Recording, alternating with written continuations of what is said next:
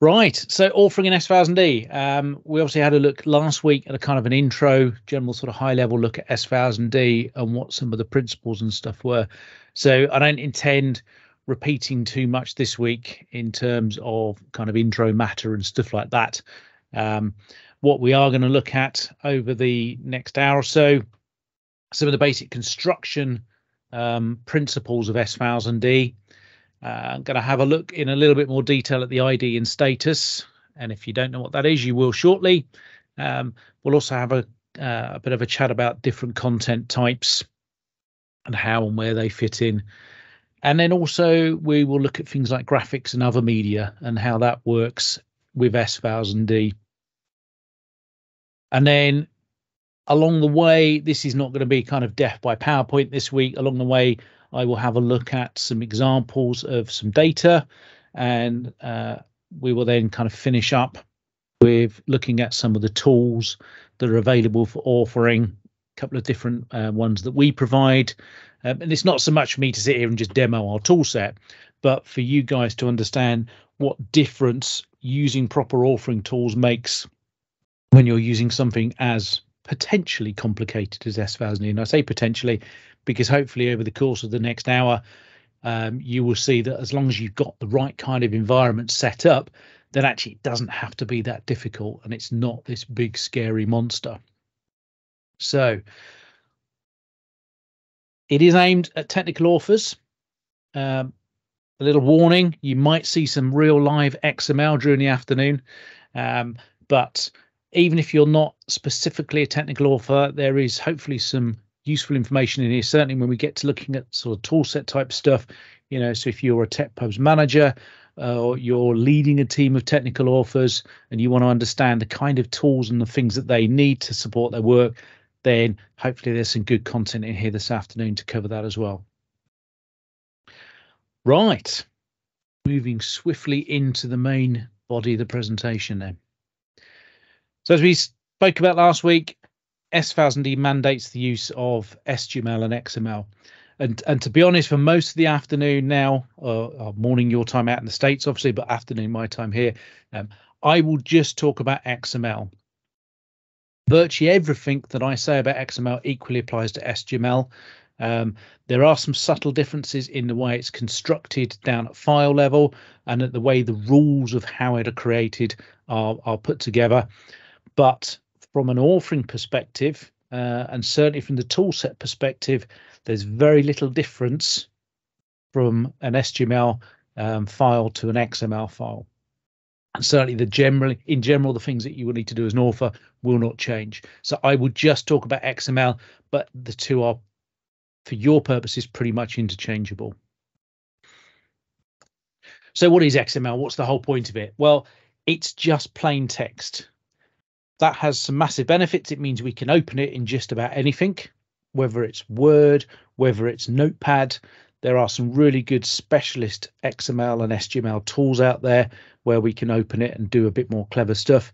And then finally, when we get to kind of the full authoring environments, um, some of the big kind of heavyweight, if you like, aerospace and defense tools have been around for a long time, like FrameMaker from Adobe, like uh, Arbortext from PTC um, and things like oxygen as well. Um, and, and those three I've mentioned particularly because we do have plugins for all of those, and I will show you some of that later on. Um, but any XML tool generally is going to be able to open an XML file because it's just plain text. The what what we do with it then is we use what are known as tags to create the elements. And the whole point of that markup is that we are adding intelligence to our content. So rather than just being a piece of text, and I, I have to say this with caution, for years I've been saying that that text doesn't mean anything to a computer. With AI kind of coming around a corner, it might be in the future that this all changes, that we no longer need things like XML because the computer may be able to read and understand the content. But we're not there yet. And for our purposes in delivering our tech pubs, then we need to give the computer that added intelligence to the content. I always get people to think about elements as a container. So we have an opening and a closing tag, and I'm going to look at this very briefly in a minute. I don't want to go too deep into kind of what XML is, but I think it's good for you as authors to have that base level of understanding. Um, there are times that things can go wrong. You know, even with the best tool set in the world, there are times, um, you know, maybe you've had a crash, maybe you've done a, a strange cut and paste, and your XML can get, if you like, broken. It can get confused. So if you've got the basic wherewithal of how the XML is built, you can actually go and look at it if you like under the hood. Go and look at it in something like Notepad++. And I'm, I'm going to show you this a bit. And when we post the video online later on for the um, presentation, I'm going to put some links below that video video for some of the tools that I've been using so that you can go and have a look at them. Alongside the the contents of an element, which is our content, that's the bit that we're actually writing, then we can also have attributes on our elements, and those attributes are used to provide some additional information. Now, all of those rules are what come from S1000D. So there's XML is a is a global standard. It's part of the World Wide Web's consortium's languages, if you like. So it's a, a, a sibling to HTML that drives the web, and often your content from your XML will end up on a web page through various transforms. So there's nothing clever, and nothing special about XML. The difference is that when we do S1000D, we are following S1000D's rule set and they've designed it, they've created it to um, to work together. And so this is one of the big reasons why we can't just go and write any old element tags. We have to use the ones that are provided by S1000D. So let's have a very quick look at some of this XML markup. So the tags just appear in line with N in the text, um, and they show the system, if you like, the different kinds of data. And then, as I say, we can have those attributes to refine it. So the tag we delimit with these little angle brackets. The tag always starts with its name, uh, uh, just inside the opening angle bracket. If there are any attributes, then they follow that opening name, and then we close the name. That, if you like, is the opening tag. We then have a content, and then we have the closing tag. And the closing tag is almost the same. It's the same tag name. It's just that it has that slash symbol inside the opening bracket, and that tells the system that it's ended. Tags can be nested inside each other. Um, but what you can't do is you can't have tags kind of overlapping, so you don't start one inside one and finish inside another. Always think of them as containers, and then you won't go far wrong. If you look at raw XML when it's written out, you'll often see that people indent it. The system doesn't need it indented, but from a visual point of view for you as a user, that can help you kind of understand um, where your opening and closing tags and where your containers are. So this little example on screen, this is, it's obviously a memo because the opening tag says memo. And this might be used in some kind of information system. So, you know, you as a user will probably have a nice form that you fill in. You'll fill in the to um, block, you'll fill in the from block, or maybe the from block is filled in automatically for you on your system.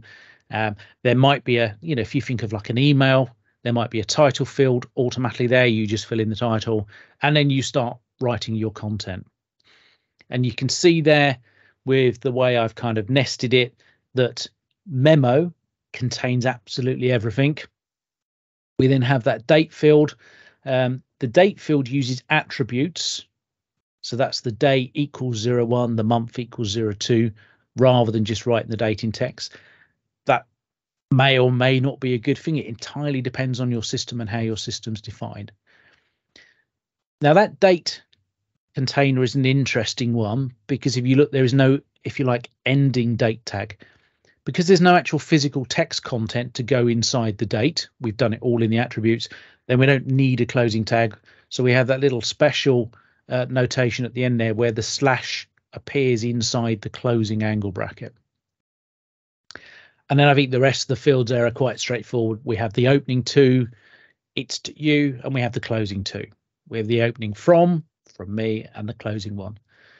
And then you can see the body. So the body actually contains a title and a couple of paragraphs. And as I say, the indentation there, I've done it on screen just so you can kind of get that feeling of containers, get the feeling the fact that things are nested inside each other. Now, hopefully from looking at that example on screen, you, you can look at that and, you know, pretty obviously you can say it's a memo. It's to you, it's from me. It's got a title. The title is hello. The first paragraph is this is a memo from me to you. So it's really easy to understand. And actually, most of the XML is like that. And one of the things I want you as authors to be is not scared of occasionally actually looking at the XML when you need to. And if something is broken, the fact that you can go in there and fix it is a good thing. And we will look at a bit more XML. We'll look at some some real S1000D XML in a little while. One of the other big things I want to get across to you as authors is that if you've never used structured authoring before, so if you've never worked with XML and SGML, if you've only ever done things in maybe Word or InDesign or unstructured FrameMaker, then there is a change of mindset. And that change of mindset can be both frustrating and liberating. The, the frustrating bit is because you are constrained by the structures that you have. And there might be times that you think, oh, why can't I put that after that? Why can't this contain one of those? Well, because someone somewhere's decided they don't want that, and you are limited by the structure.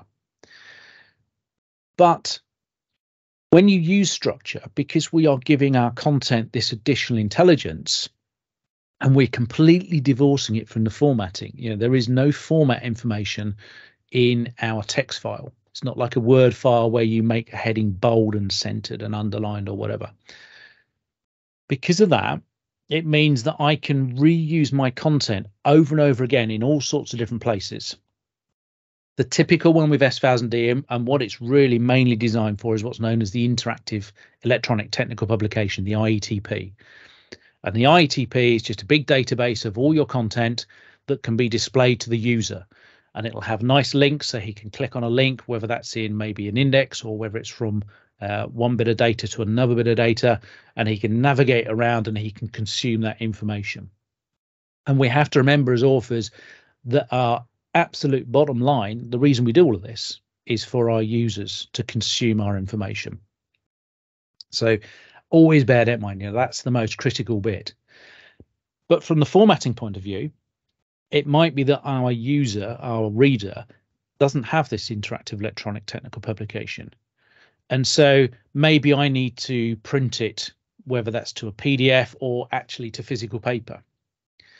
Or it might be that he is somewhere out in the middle of a field in the middle of a foreign country and all he's got is his mobile phone. Or it might be that he doesn't even have a mobile phone and he's just got a landline telephone but he can dial into a computer that can read him the information he needs. All of these are possible with structured information because the system understands the difference between say a you know a step and and if you think of like a crew drill, which is which is my background as aircrew, we used to do what we call challenge and response. Somebody would read out the challenge, you know, check this control, and the pilot would check it if necessary, do an action, and he would respond with the answer. You can do that over a telephone using XML because the system can read you the challenge and you can you know it might be that you don't necessarily have to read back and have a recognized response but you can do the action and say right next step. And whether that's pressing a button on the telephone or whether that's just actually saying next step the system will then read you the next step. So that's a long long way away from a guy sat behind a computer in a nice comfy armchair reading his aircrew manual or his maintenance manual whatever it happens to be. But all of these are possible from the same single piece of content so because of that, because of not having to worry about formatting, that's the kind of liberating bit. Yes, we're constrained by the structures. We have to follow the rules that have been given to us by S1000D. But from a authoring point of view, the content is king. You can just get on and concentrate and focus on producing really good content. So your focus is on your user, the words that you're going to give to him, and not worry about how it's presented because every time it's presented might be completely different you know you may have no control at all over the presentation to the end user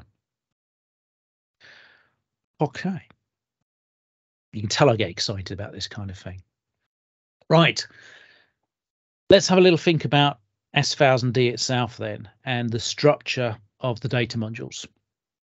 So every data module, um, and I say every, we have lots of different types of data modules. I'm going to come on to that in a minute. But every type of data module has two parts. There's an initial management part, which um, tells us all about um, that data module's history and governance and, and current status. And then there's the actual content. And the content comes in different types, as we'll look at in a minute. So let's think about that management data. That is also split down into two parts. There's the identification information, and then there's the status. Now, one of the things that we discussed last week with S1000D is how many different data module types there are. Um, and sorry, not how many different types, how many different data modules you might have in a project. And so one of the things that we need is to come up with some way of providing a, a coding system that we can understand as as users, as authors, as managers, but that also uniquely identifies these potentially hundreds or thousands of different bits of information that are required to make up our project. So in that ID and status, we have the data module code itself. We also have um, information that covers the type of information that's in the content. And then we have a title of the data module, which is just literally the plain language version. And we have the issue status information. All of that identification is then pulled out into what's known as the data module code. And so typically we will talk more later on about um, information management systems and, and S1000D uses a, a, particular type called a common source database. And we'll talk more about that later on. But even in a file system, our files have names that show that data module code. And so we can start to recognize how the information is broken down. When you first look at it, it's just a big long string of letters and numbers. DMC at the beginning, data module code. That's the that's the easy bit, and the .xml on the end um, tells us whether it's XML or SGML. But actually, a lot of this, once you get used to looking at it, and again from a an authoring perspective, this is one of the things I kind of want to encourage you to to get into, is it's actually quite easy to look at a data module code and read it and you won't pull every little bit of information from it but you can pull the important stuff from it. So this first part is known as the model ident. Um, and I, i'm not going to go into every bit of breakdown of the data module code um, as I mentioned last week, you know, we do courses on S1000D authoring that, that last two days, and then we break this down into every little component part. But from a big picture perspective, that first block of information is telling you what I'm talking about. And in this case, Mekon Pubs, these are our publications that we write for our user guides and our installation guides for our software. Um, the N02 tells me that this one is actually about our Notus CSDB. And so I know straight away what I'm talking about. The next part, the code, is actually the, the physical component. And we use codification to break it down into kind of the major systems and then the subsystems and then the sub-subsystems. And again, that's kind of a whole hour's lesson, well, not an hour's lesson, but it's a kind of whole half hour lesson on understanding how the standard numbering system works. S1000D has a whole bunch that they maintain as, if you like, kind of generic examples for different types of um, platform and product. And then there are elements that if you use the maintained ones that you can add your own um, parts to, or you can just start from scratch and make your own one. And we do uh, a lot of work with customers that when they're setting up projects of doing that consultancy piece of actually building the standard numbering system and working out how we're going to break down the information into usable logical chunks. In my case here with my Mekon pubs, that U tells me it's a user guide rather than an installation guide or a uh, another information document. The 3030 and the zeros, I can't remember. I don't know off the top of my head what that is. Um, and I would have to go back and look at the um, either my authoring guide to tell me what those numbers were or actually in my CSDB, then the CSDB can um, break my information down by the SNS areas, and so I could just look at the the uh, table in the CSDB. The next part is the type of information. So every data module really has has two elements that make up what the content needs to be. The first part is the thing that we're writing about, that's the SNS. The second part is the type of information that we need to provide. Um, and then also that last dash A is where the information or when the information is used. Um, so I might have a procedure for testing a component when it's still installed on the platform. I might have a different procedure for testing the component when it's on the bench in a workshop. And so that last letter there tells me where it is.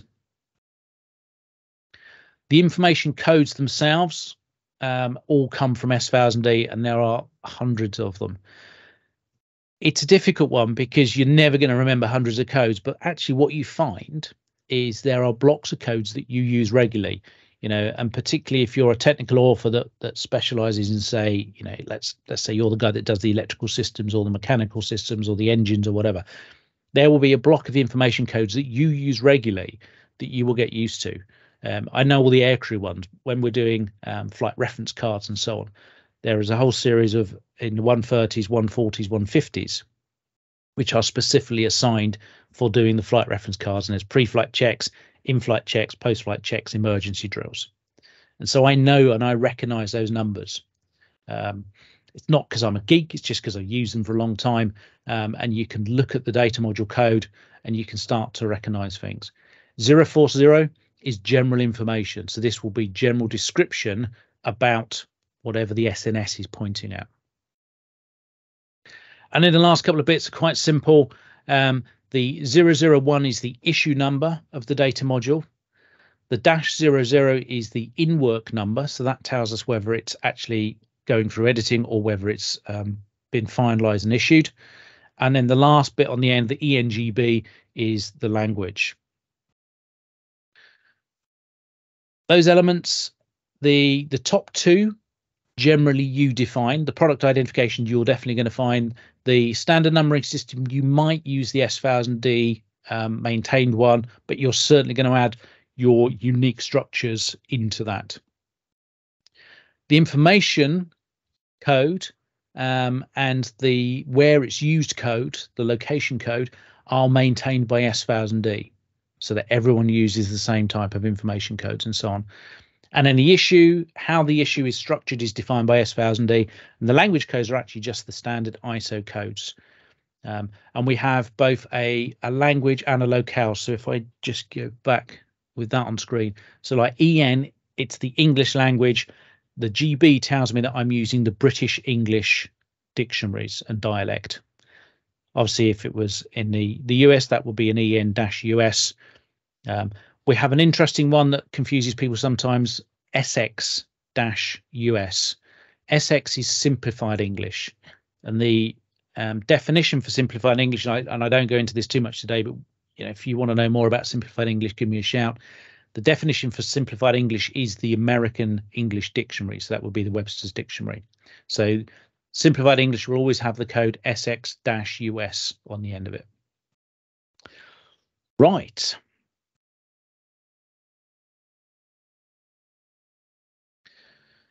The rest of the status then is a lot of supporting information. There will be stuff in there about the data module itself, whether it's a new data module, whether it's been um, changed, reissued. We even have a deleted status, and I'll talk more about that later on. You'll also then have a whole load of information about, for example, data restrictions. There might be a copyright statement. There might be information about who wrote the data module, who it was written for, and changes and so on that have happened over the lifespan of that data module over its different issues. Most of the status, um, there's one or two bits that are required, um, but most of it is really down to a business decision. Do I need a statement of export? do I need a, a statement about whether it can be destroyed or not? Do I need a statement about when it's issued and valid or not? And so um, when you're setting up your project or when your managers or teams or whatever are setting up the projects, these are all the kind of considerations that you take as to what information is going to go in that status section. We'll have a little look at that, your first break from PowerPoint. And I've got here. Do, do, do, got some scary XML for you. Um, so just the first couple of points about the XML. I'm using Notepad++. Um, it's a free download. It comes with lots of possible plugin tools, and it's really good for looking at things like XML, SGML, and so on. If I looked at this in Notepad, it would probably look something like that, which is, to be honest, almost indecipherable. It's just a stream of text there's obviously kind of no recognition of any special elements in there, um, and it's just a continuous stream. One of the beauties of Notepad++ is I can go in here and I can tell it that this is XML. And straight away we've got some coloring because it now understands that I want to see what is a an element, what is an attribute, uh, what is content. And then some of the plugins that I have for Notepad++ here, I have one called Pretty Print, and it will clean up. Let me just do a save on that. Uh, the Pretty Print one, depending how good your XML is in the first place, will try and give you a more structured view of you remember I talked about these containers and kind of indenting things so I can now see, for example, that starts there and finishes there. And it makes it a lot easier to look at and decipher. That's still reasonably complicated, but it's a lot better than just that um, screen full of black text. So jump back to this one. Here is the start of our data module. So we've got some uh, information at the beginning, which I will kind of touch on later on what this is. These entities are quite important. These are our graphics and so on, but I'm going to come on to that later on. So our data module starts here and we have this ident and status section. And if I just collapse that down, you'll see that after the ident, we then get into the content proper.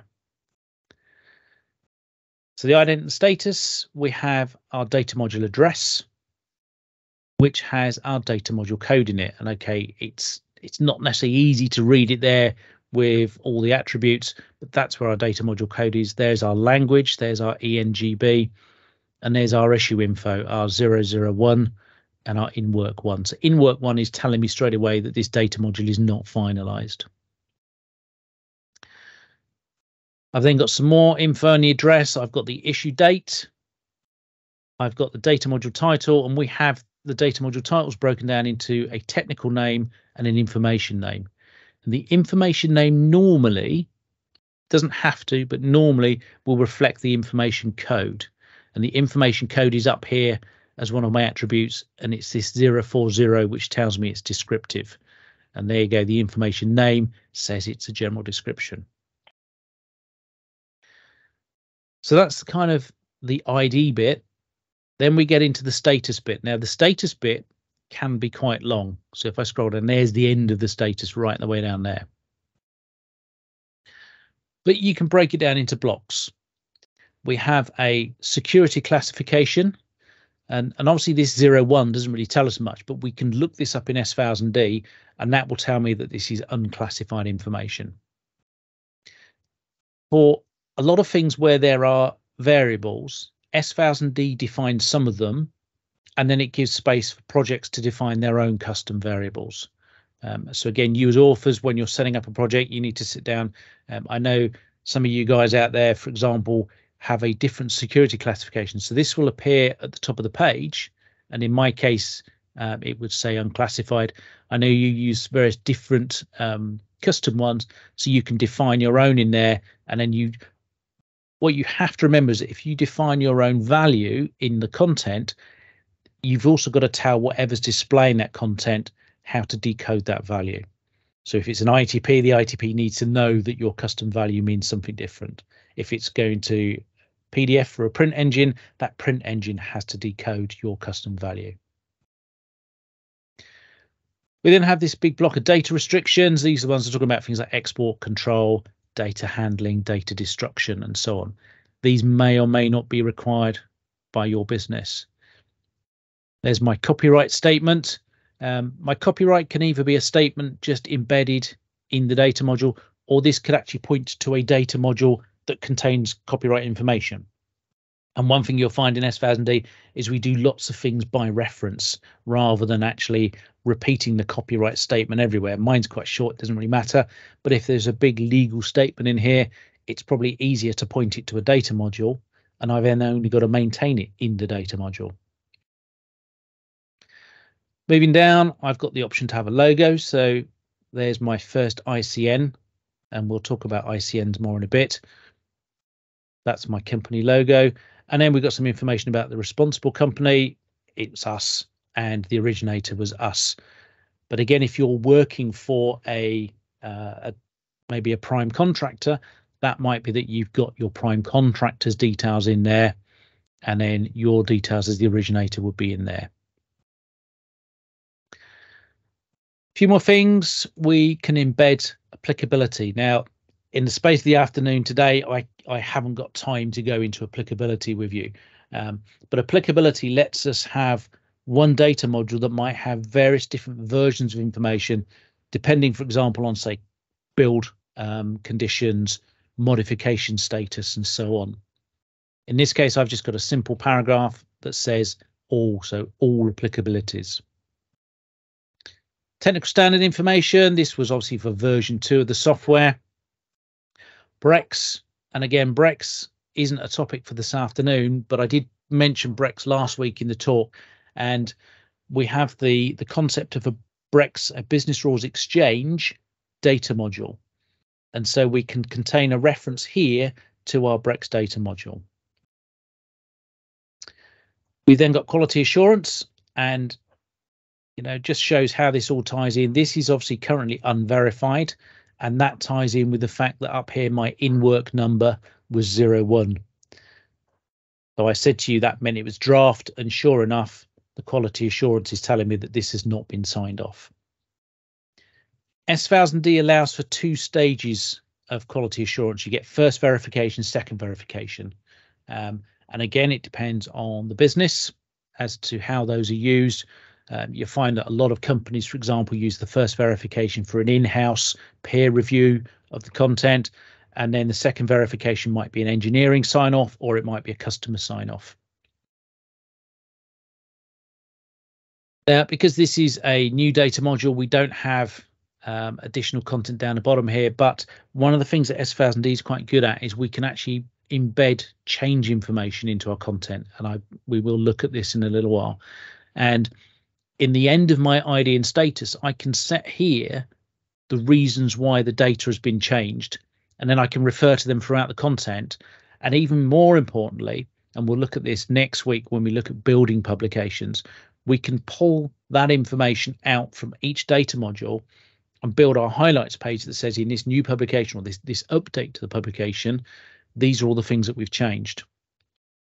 And we can go in here, we can define what we want to be highlighting or not. And that's it. That's pretty much the end of our ident status. And then we get on to the content. Um, so I'm going to jump back to the PowerPoint for a second, but you can see here the first element inside my content element is description. So I know that this is a descriptive data module.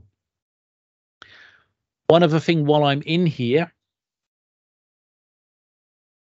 S1000D has lots of different versions and lots of different data types. So um, we went all the way back. If you remember last week's talk, if you were on that one, we talked about the early changes that were based in SGML, and then we had various different versions of two and three and four, and we're currently on version five. In my data module declaration, and it does vary slightly between the SGML and the XML, and even down to how the XML is constructed, but there will be a statement up here that allows you to identify the version of S1000D. In this case, I can see here that I'm using S1000D 4.2. I'm using an XML schema and it's a descriptive data module. So that's defined as part of the heading information. And it's that heading information that the system then knows what elements are allowed in the content or not. One thing to point out is that nearly every ident and status section is identical. There are a couple of minor differences with some of the specialist kind of management types of data module. Um, but in general, the ID and status is almost the same. So this is descriptive and we've got our DM address, we've got our DM status and all these bits and pieces.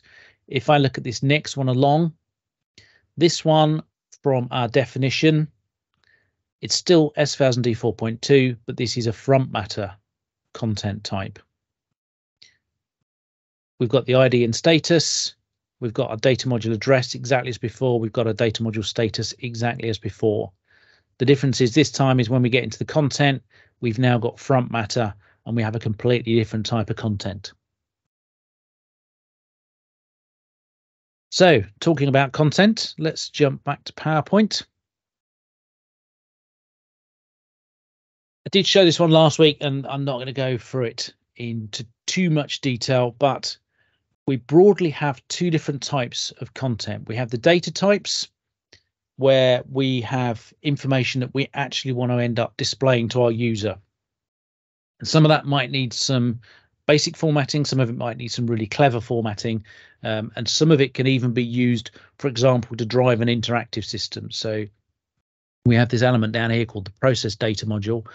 Um, the process data module allows you to actually build logic flows, and depending what the user responds, um, and obviously that depends on the system because if this is printed on paper, the user can't respond, but it could tell him to go to a different page or a different chapter.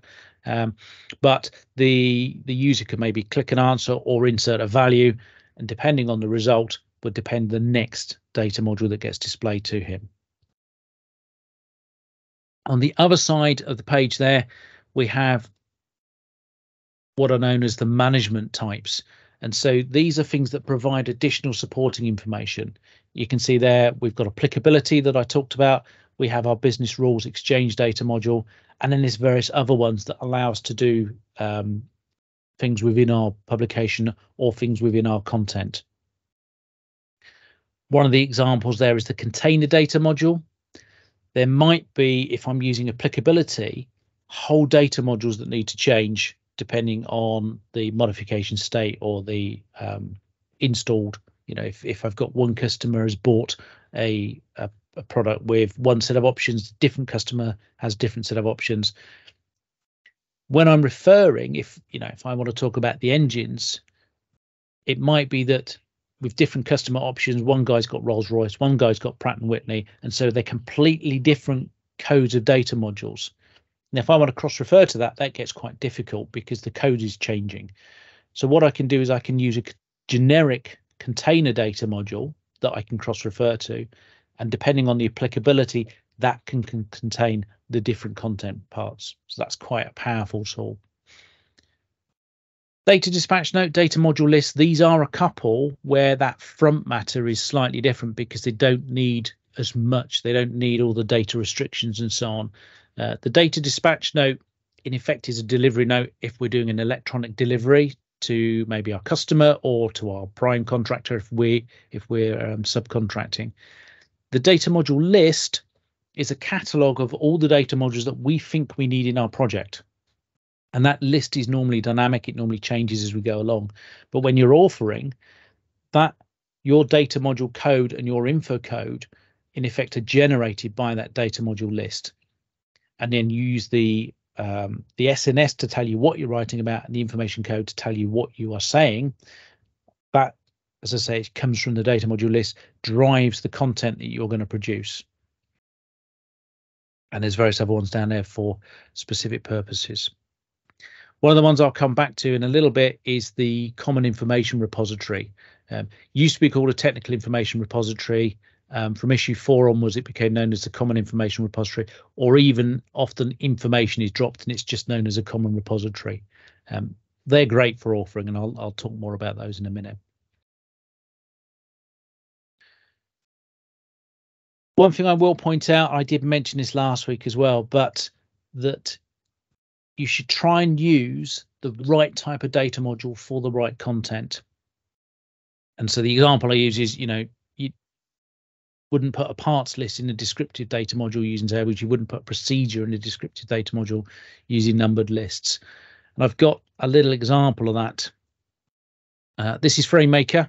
If you're not familiar, I'm going to look at mainly FrameMaker this afternoon because it gives us a nice kind of page-based layout.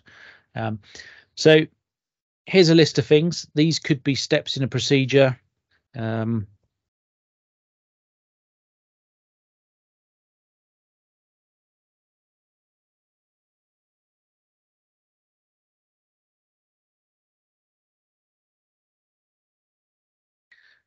really simple uh, procedure there.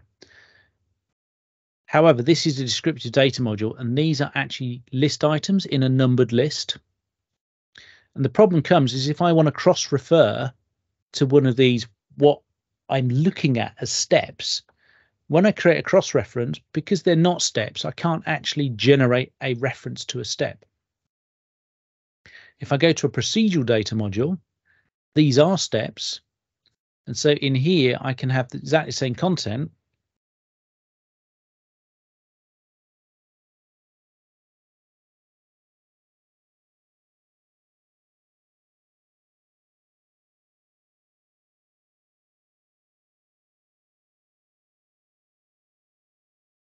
and then I can put in a cross reference.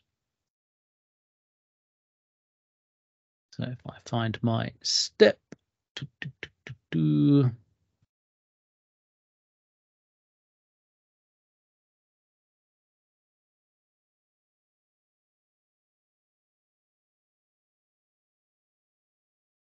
I remember the right one, insert, boom.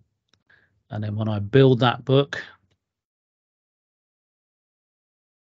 I've done this right and not let myself down, then that will come up and that will tell me go to step one. And it hasn't done. I've, prob I've probably linked it to the wrong thing, but there we go. Um, but it's generated the fact that it's go to step. And so if that was a ITP or a PDF, that could also be a hyperlink that I could click on. So as I was saying, uh, this is FrameMaker. FrameMaker has, in effect, two views. We have our structure view, and this basically is exactly the same as we looked at in Notepad++, except it shows them as containers, and where we have attributes, they show as uh, kind of a list of the items below the container. And I can do things like I can hide those attributes away to make it easier to read if I don't need to be editing them and so on if I put the notepad back on the screen side by side with that quickly, I won't go into this too, too much, but you can see here, there's my ident status section. There's my ident and status section. There's my DM address. There's my DM address. So they, they work exactly the same. Uh, the other one I want to show you quickly, I'm just going to jump onto my desktop behind here.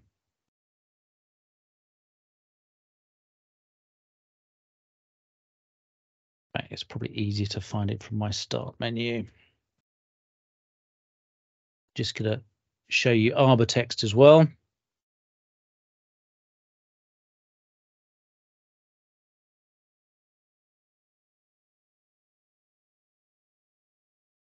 I'm not going to show you text. Oh, no, I am going to show you text. I just had a warning saying that my license expires soon, but it uh, there we go. So Arbortext, if I load uh, a similar data module, Again, we have this idea of a structure view and a content view. But whereas with FrameMaker, we have that page view, with ArborText, we just have a, a constant kind of, if you like, a stream of the data. Really depends on your experience, both your experience of the two programs and also your experience with kind of using structured information as to what you find easiest. Now, this obviously has all my tags showing, I can change that view. Uh, let's get the right one. So I can hide those tags completely and just show me the, the output text. I can have the full display or I can have this kind of intermediate level display. So that compares, as I say, with the kind of FrameMaker view where you've got this full paginated WYSIWYG. Um, this is obviously on A4 pages. If you be if you're in the States, then you'd have your your letter size page and you can have your fold outs and so on as well. So I'll concentrate mainly on the FrameMaker this afternoon, but from a structure point of view, the, the two work basically exactly the same. Normal day-to-day -day is quite straightforward. I'm just going to jump back into this descriptive data module. So I'm going to collapse down the ID and status, and I'm just going to concentrate on the content for a little while. So in essence, we can use S1000D like a set of building blocks. So you can see here I've got a level paragraph. My level paragraph has a heading number. I can go in here and I have this element catalog and I can, for example, choose a title.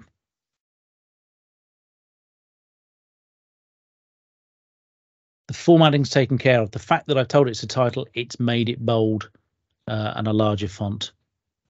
I've got this paragraph, I've got this sequential list that I've already shown you. Um, in my paragraphs, I have all these different options in the catalog that I can choose from. Um, I'm going to cover some of these. Some of these are uh, reference items. Some of these are just straight display items. Um, there's some nice things we can do with S1000D to make our book building so much better. Uh, one that I use a lot, for example, is an index flag.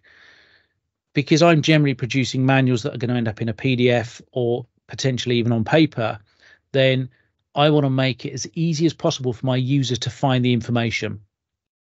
So we have hyperlinks, we have PDF bookmarks, and I also build an index at the back of the book. And the index can have up to four nested levels. And so uh, this is just a general paragraph. That would be my title. My index flag doesn't appear on the page, but it's been stored in my structure.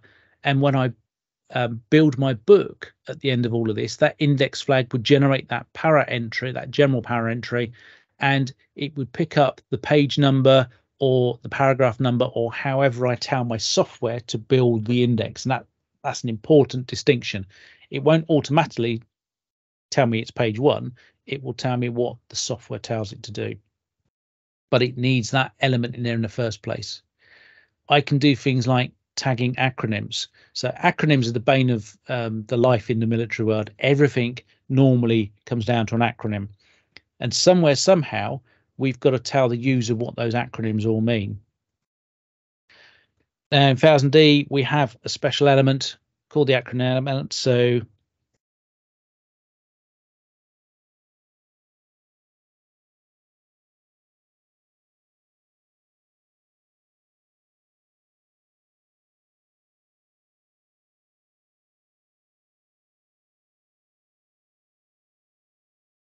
Now, if I was doing this, you know, old school style, I would just type that out um, as text and I manually put the brackets around TLA. Um, but because it's just text, it doesn't mean anything to the computer system. And so when I build my book, it's not going to do anything with that. So in S1000D, I can wrap that whole piece up in an acronym and then I start to break it down. I have an acronym definition, which is the text part. And what I'm doing here is I'm just highlighting and then by default, FrameMaker knows that if I double click an element in the catalog, it will wrap up. Remember, these are containers, so it will wrap up whatever I've selected into that new container. Now, I've got a red dotted line that's telling me I've got something wrong here because S1000D expects that if I've used an acronym I have an acronym definition followed by an acronym term. So the catalog is telling me I'm expecting an acronym term. So I can wrap up that bit of text in the acronym term. Now you can see it's automatically put brackets in for me. So all I need to do now is tidy up those extra brackets that I manually typed because I don't need them. And I now have correct structure on this side and I have what looks the same on the page. But if I then go away and build that into a publication, it will pull that acronym out and use it to populate my acronym list at the beginning of the publication. So I can do that all the way through the publication um, and build that list without ever having to try and maintain it. You know, I haven't got to remember what acronyms have been used or maybe what acronyms have been removed from the publication and no longer need to be in the list and so on. That's all at quite a basic level at the moment. Um, internal cross references are really easy.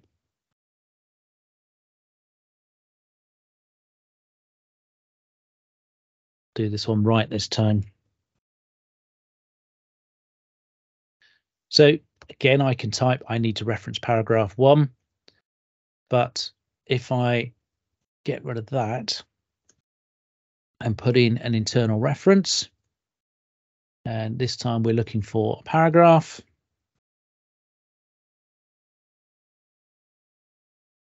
There's my para one.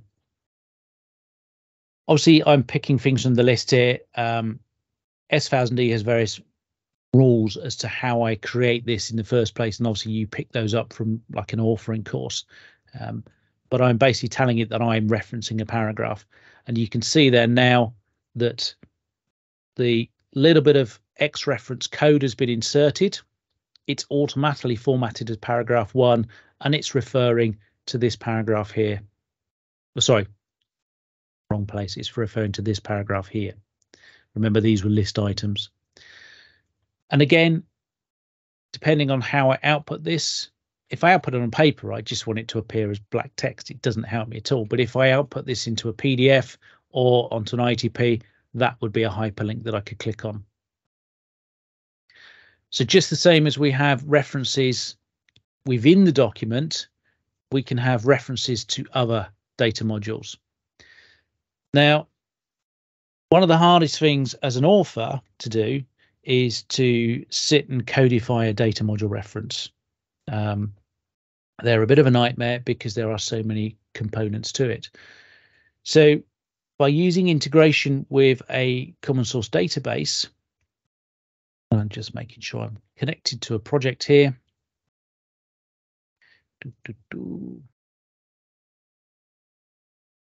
When I say insert a data module reference, then it's going to list me the data modules that are in my project.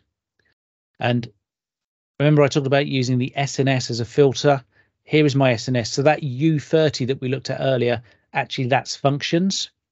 And if I go into there, U30, I think it was free, wasn't it? Was the next one. That obviously was referring to import export. And so I could reference one of these data modules. I think it was the 3030 and the 0400, wasn't it? So I can add some additional information. Let's make this really explicit. So we're going to refer to the issue number. We're going to refer to the language, and I'm going to insert that data module. And there it is.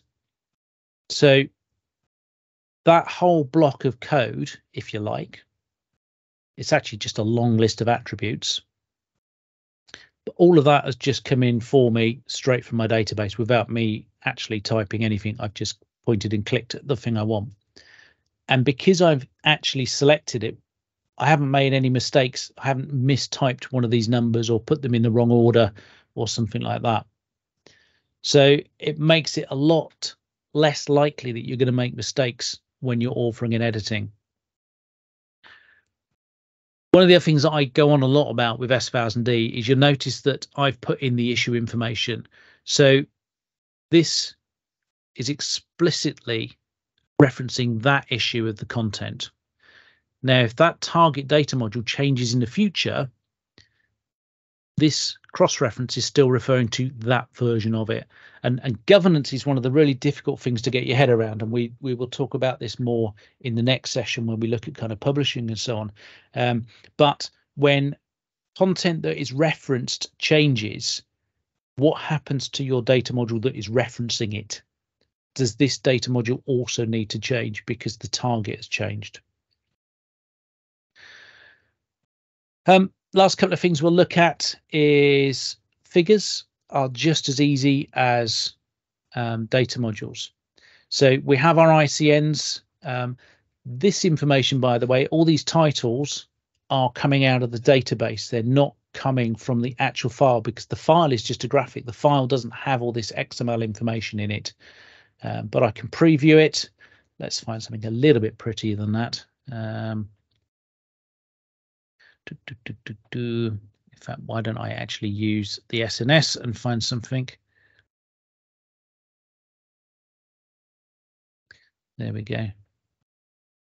That's a bit nicer, isn't it? So I can insert that. It automatically sets up the file reference for me. And I'll talk about that in just a second. And there's my graphic. And it's picked up the title. I can go and edit that if I want to, but I don't necessarily need to. Now, in terms of graphics, let's just go back to my PowerPoint. Because all the data is XML, it can only contain text. And obviously in a graphic, the graphic in general, there are a couple of exceptions, but the graphic in general only has graphical data. It doesn't have any text in it. So if we want some kind of codification in the same way that we do for our data modules to identify all our different graphics, then the, about the only thing we've got available to us is the file name. And so S1000D uses the file name in effect to provide a code which has information about the graphic. And they call them ICNs, information control numbers. So S1000D gives us two different forms. Um, if you're not familiar, the CAGE code is the commercial and government entity. So this is a code assigned um, by NAMSA in Europe, part of NATO, to identify different companies that kind of work in in this um, space. And most of you are probably familiar with CAGE codes. So in my first um, ICN, I have my CAGE code, KD559 is Mekon. I then have an identity number, which has to be unique to the graphic, which can run from five to 10 characters. That's why I've put the second half in gray there. I then have the issue number of the graphic, now, some people don't like up issuing, they just issue a whole new um, number. Other people keep the same number and just change the issue number. Again, that's kind of a business decision. And then finally, on the end, I have the security. So again, like we saw that security code of 01 in the data module, this 03 would probably be something like confidential. So we go unclass restricted confidential. And again, if you've got custom security codes, you could use those there. The second version, the model-based version, you'll recognize this first half looks really similar to my data module, and, and it is in effect. So in this second version, I'm actually identifying the graphic uh, or media by its place in the structure. So we still have our um, model identification, we have our SNS, and then this second half from the KD55 is, is basically exactly the same.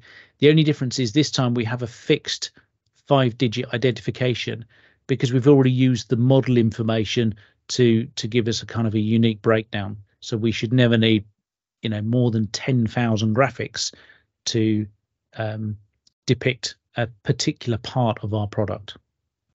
Whereas obviously, if we're talking about the whole product and just using this CAGE code version, we could well have more than 10,000 images on a large project let's head back and have a quick look at the last couple of bits in FrameMaker. Um, so I've talked about inserting figures, I've talked about inserting data modules and so on. Now, the one other thing that we can insert, and I'm just going to change project here, is we can have information inserted by reference.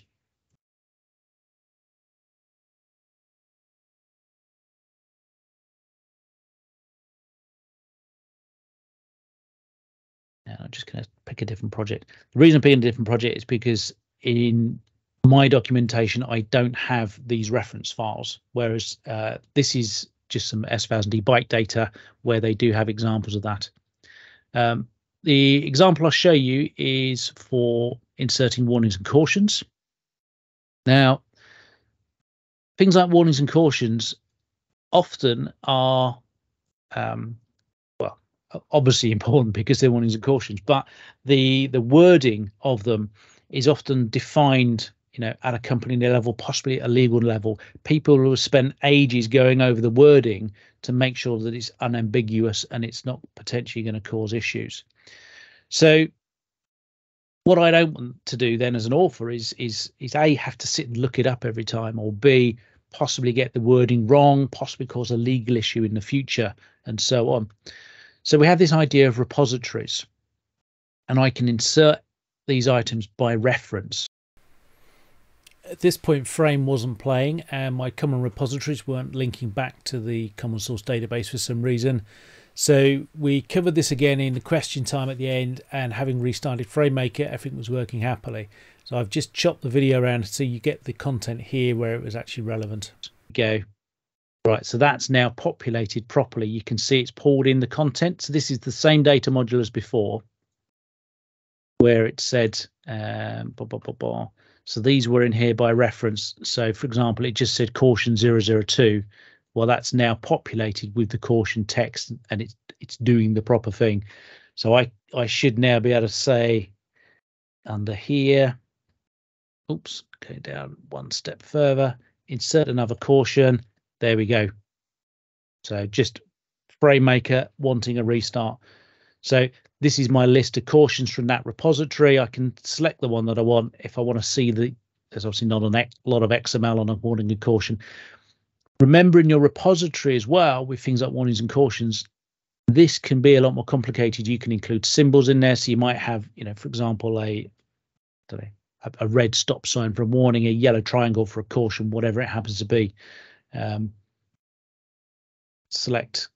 And initially that's gone in like that. It's just caution 02. When I do the build, then it's going to ask me which version of the repository form. It's now you saw it before frame jump. You can see that that's now converted that caution to the actual text item.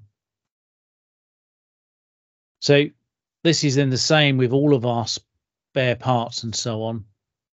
So if I go and edit those tables, we have to do quite a few, if you like, little bits of trickery with FrameMaker to generate the, the printed view so I want to go and add in a an extra part here. Uh, So if I put in, for example, a tool ref, I think there's some tools. There we go. So it's gone away. It's searched the database. Have I got the right type of common repository? Yes, I have. Now I can choose my tool that I want. Let's have that one. Select it. Uh, I need to put in a required quantity. Let's have two of those. And then if I go back and format those tables,